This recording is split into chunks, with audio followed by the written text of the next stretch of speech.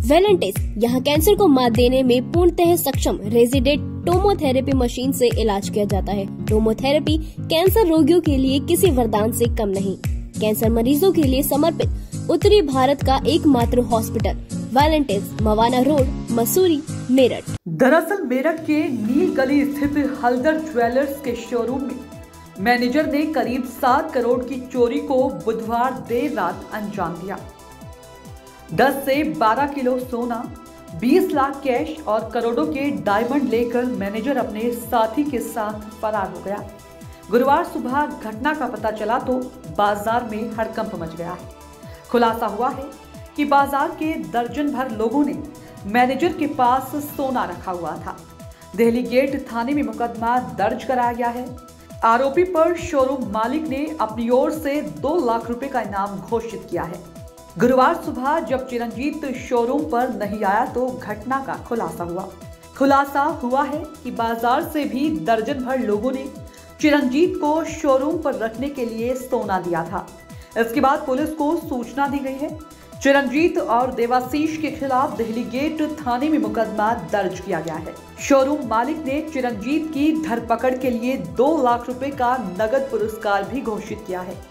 फ़िलहाल आरोपी की तलाश में सर्विलांस टीम और थाना पुलिस को लगाया गया है। इस खबर में फ़िलहाल इतना ही। आप देखते रहिए फास्ट बाई टीवी। नमस्कार। मेरठ के वरिष्ठ पुलिस अधीक्षक रोहित सजवान ने यह जानकारी दी। मेरठ में एक ज्वेलर के यहाँ चोरी और ठगी का मामला सामने आया है। क्या कौन आरोपी है, कहाँ चला गया, क्या करिए बस?